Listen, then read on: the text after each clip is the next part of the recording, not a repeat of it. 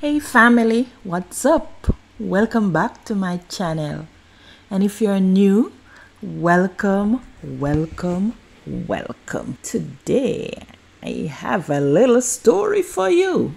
Some of you might have known about it before, and I guess you have seen the title. Yes, it's about Wayne Marshall and how he lost his US visa almost 15 years ago. So, if you have not yet subscribed to my channel, please hop on down and do so.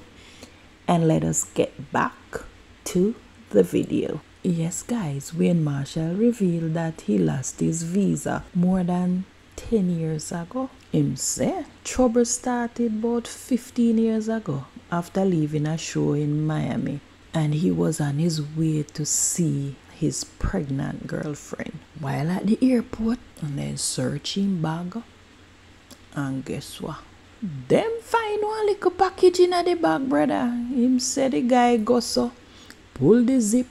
And incident take out one little plastic bag and right there so boy the vibes nae right and he realize say boy something a go go down. Him say boy me know I wonder what could have caused that because he every member said the bag got zip.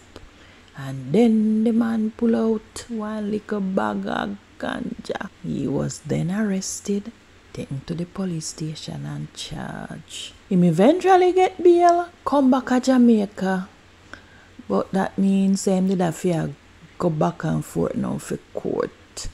And during one of them trip them say boy things just get worse. Yeah. In his one words, him say on the sixth trip something happened. For some reason this immigration officer decided she don't trust me.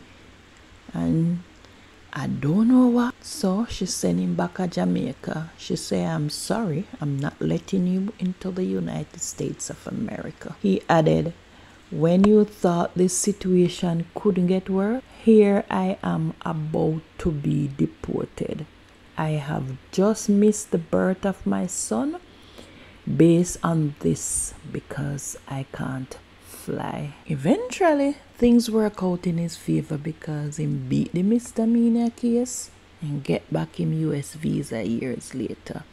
However, he said that every time he goes to the US, he now has to go through a secondary check. Yeah, so there you have it. That's how he lost his visa.